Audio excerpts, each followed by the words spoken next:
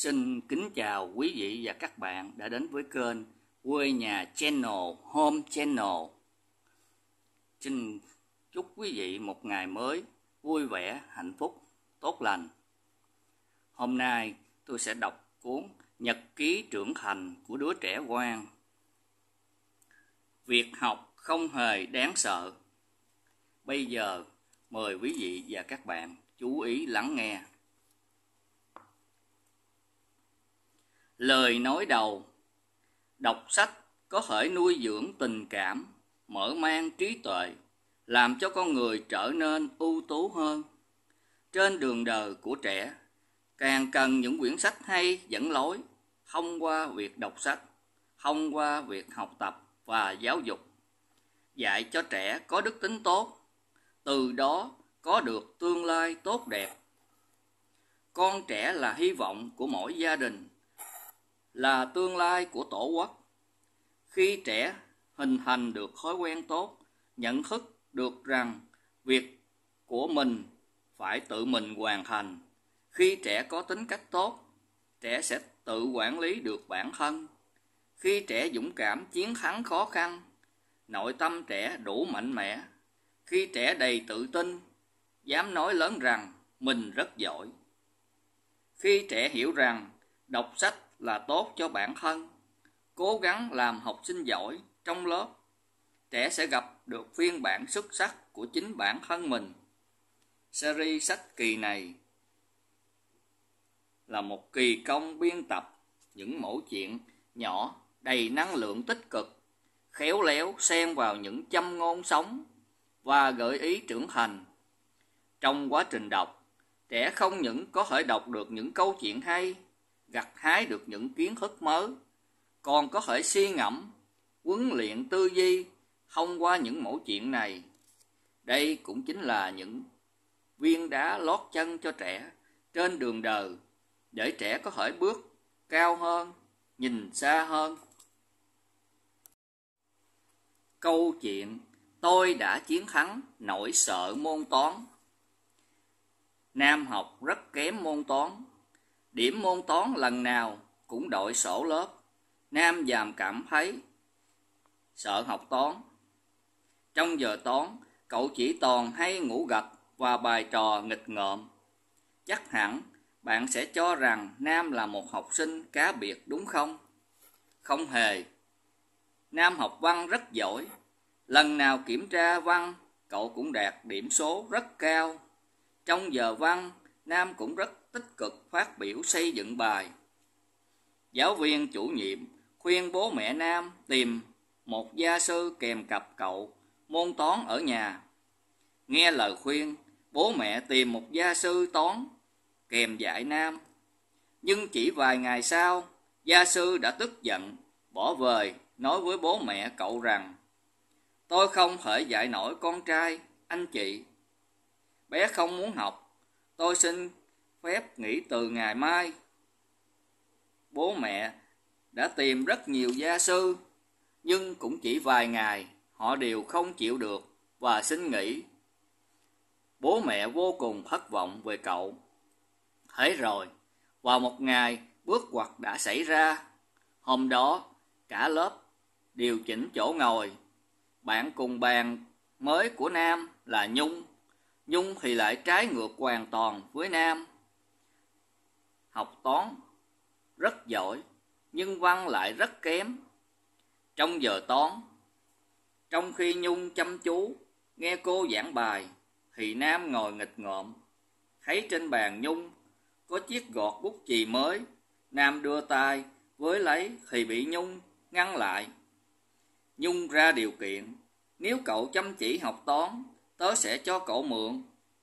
Vì rất muốn nghịch chiếc bút vì mới đó, Nam bắt đầu tập trung nghe giảng.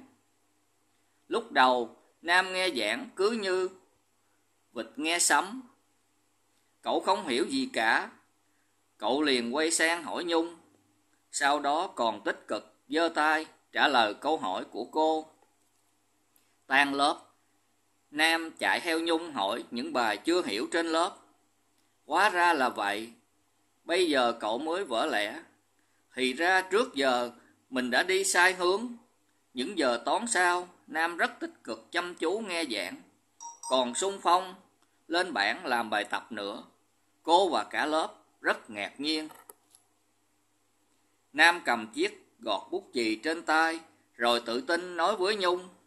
Môn toán không hề khó, từ nay tớ sẽ không sợ học toán nữa. Bài học trưởng thành Nhờ sự giúp đỡ của Nhung, Nam đã chiến thắng nỗi sợ học toán. Điểm số môn toán của cậu cũng dần được cải thiện. Môn toán thực ra không đáng sợ, chỉ là do các em chưa tìm được phương pháp học đúng mà thôi. Câu chuyện Vương Bột học y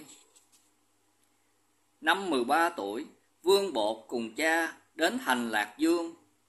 Nơi đây khiến cậu được mở mang tầm mắt và thấy rất nhiều điều mới lạ. Khung cảnh náo nhiệt của thành phố này đã hấp dẫn Vương Bột. Thấy điều gì mới lạ, cậu cũng hỏi cho kỳ được. Một hôm, Vương Bột đang đi trên phố thì thấy một nhóm người đang quay quanh một ông lão. Vương Bột chen vào đám đông thì thấy ông lão râu tóc bạc phơ đang bắt mạch cho người bệnh. Hai mắt ông nhắm nghiền, không cần nhìn sắc mặt của người bệnh, ông vẫn bắt bệnh rất chuẩn. Sau khi được bắt bệnh xong, mọi người lấy một nắm thuốc lá, chỗ ông lão, rồi vui vẻ ra về. Vương Bột nghe mọi người nói, thầy Tào đúng là qua đà tái hới, khám chữa bệnh rất giỏi. Cả ngày hôm đó, nhà thầy Tào tấp nập người qua lại, ông bận không ngớt tay. Vương Bột mãi xem ông khám bệnh, đến nỗi quên cả ăn cơm. Trời tối, khi bệnh nhân đã về hết, thầy Tào lúc này mới để ý đến cậu bé đứng bên cạnh.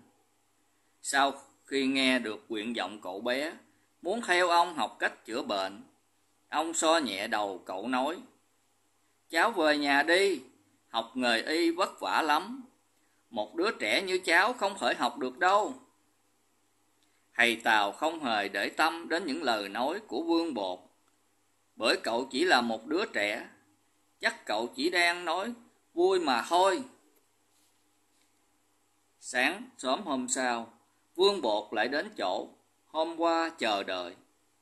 Cậu lại tiếp tục chăm chú nhìn thầy Tào chữa bệnh. Hỏi này hỏi kia, cậu còn nhanh nhẹn chạy ngược chạy xuôi, giúp thầy Tào mấy việc lặt vặt. Suốt nửa tháng trời, ngày nào Vương Bột cũng đợi thầy Tào ở bên đường bên cạnh. Sau đó giúp ông làm những việc lặt vặt, quyết tâm học nghề y của cậu vẫn không hề dao động. Cuối cùng một ngày, thầy hốt gia đã đích thân đến nhà Vương Bột. Sau khi được sự đồng ý của bố cậu, ông quyết định nhận Vương Bột làm học trò, sau đó đưa cậu lên núi học nghề y. Trên núi, hai thầy trò không quản ngại núi cao rừng sâu, ngày ngày đi hái thuốc.